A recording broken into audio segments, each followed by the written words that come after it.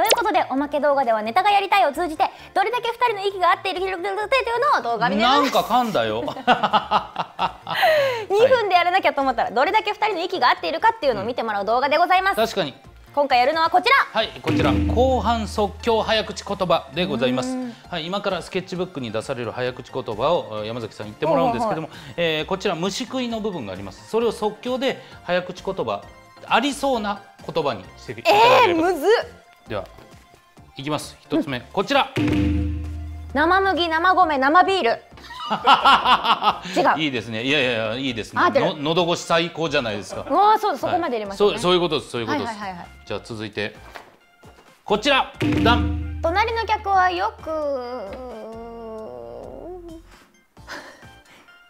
わかんないちょっと待ってください。ちょっと待ってください。一問目でわかんないはまだわかりますよ。二問目からわかんないって何なんですか？よくよく無銭飲食する客だ 大問題。大問題。捕まえろじゃ難しいあ。捕まえろ。ちょっとむずいですねラスト。ラスト。こちら。ダン。庭にはには天心向かい？誰が和だ？誰が鳥の部類だ？ちょっと似てるんで。誰がちょっと似てんだ？鶏じゃないんでしたっけ？鶏じゃないですよ。鶏じゃないいやこれは庭にはには鶏がいるですけど庭にはには天使向井がいるってどういうことなんですか？いやいや。いやいやじゃない。喋るんかい。はい。